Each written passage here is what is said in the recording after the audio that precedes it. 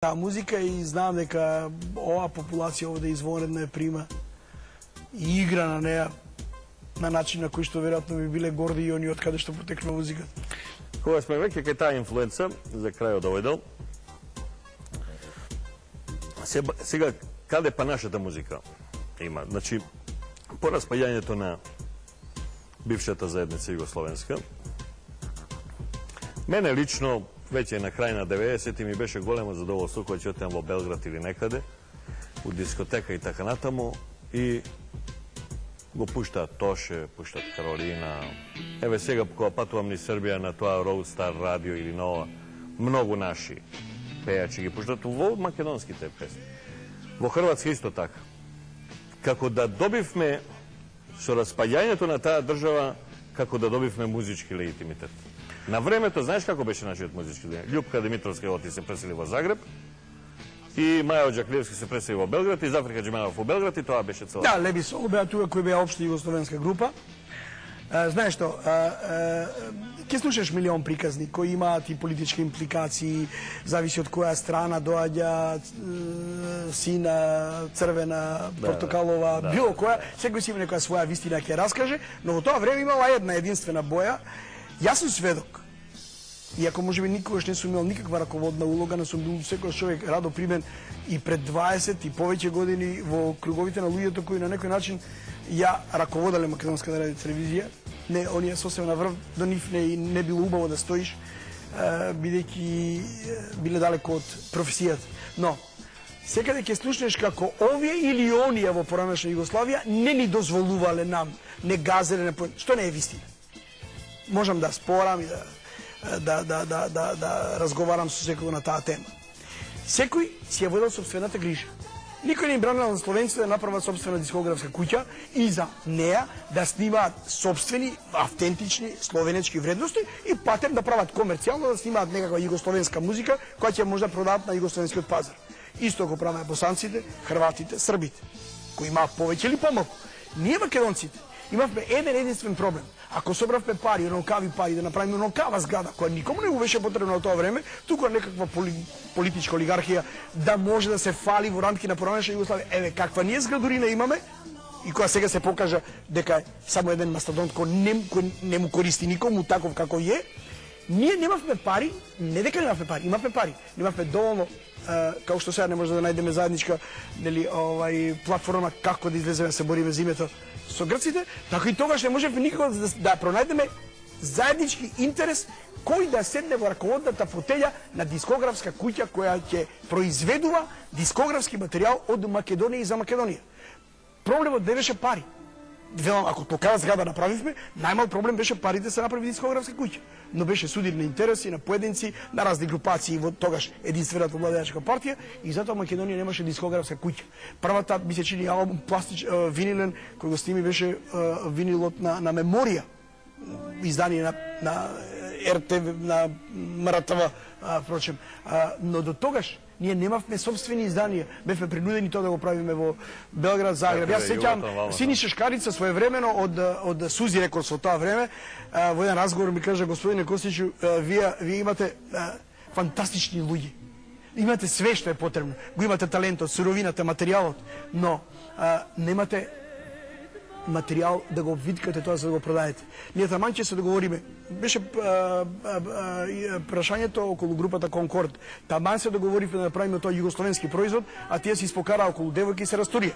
Значи, ние, нашиот проблем беше во тоа што не умеевме како обландата да ја завиткаме и да ја ставиме во излог. Тоа исто како виното. Па да, не, Ви, да, го продава некој друго пакува и го продава без обзир што тоа твој квалитет што доаѓа од кај тебе. Тоа беше нашиот проблем. Затоа ние немавме многу дискографски изданија. Кога дојде до распад на Југославија, ние најдеш добивме можност да создаваме, да креираме, но најголемиот проблем повторно се јавува денеска. Ние имаме крајно еднолична типизирана музика, продукција. Зошто? затоа што на ниедно студио не му се исплати да креира алтернативна или похрабра музика која нема да биде тоа. Или тата и мама не даваат пари за нешто што нема се продаде, да кажеме да се врати.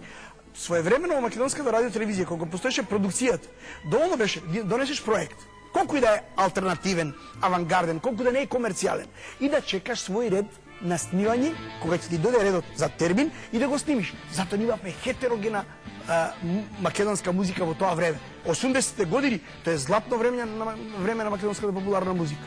И преродбата во 90-те години, некои 10 години и потоа имаме стагнација која имаме еден исти типизиран звук. Во овој момент го цениш како стагнација? Да, страва. Страва. Повеќе години.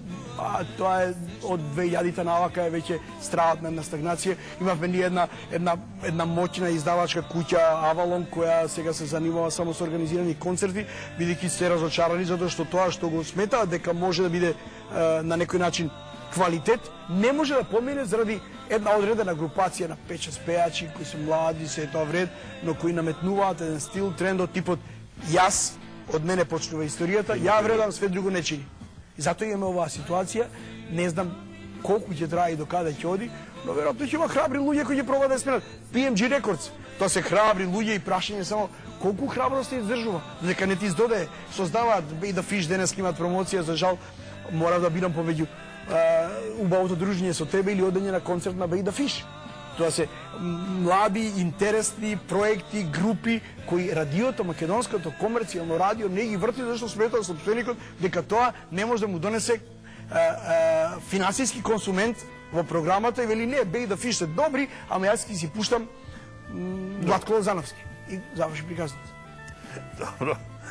Ќе правиме за втора пауза, за да го чуеме овој прочен джингл диско селектор, кој така те изненади на почетокот од емисијата.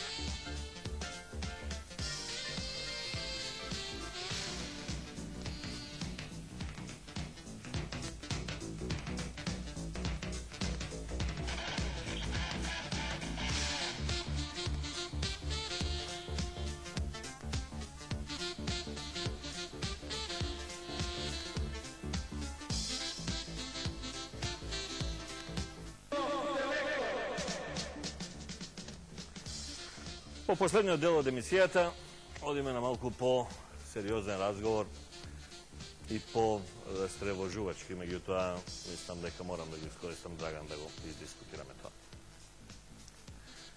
Немате прашање за сегашната ситуација у куќата во која дојдеш, од која јас одамна сум си отишол. Да не те ставам непријатна ситуација да ти после забележат или пак мене да ме забележат све исто. Меѓутоа, целата твоја професионална кариера е врзана за музика. Навистина за популарна, меѓутоа музика си е музика, секоја добра музика е добра музика. радио телевизија Скопје своевремено, потоа прерасна во Македонска радио телевизија, меѓутоа радио телевизија Скопје во рамките на ЈРТ самата по себе беше направена како сериозна структура која ги негуваше и ги сочувуваше вредностите на оваа држава. Значи, као што е потребен Македонска академија науки или Национална библиотека или универзитет или не знам музеј и така натаму, така постоеше радиотелевизија Скопје да ги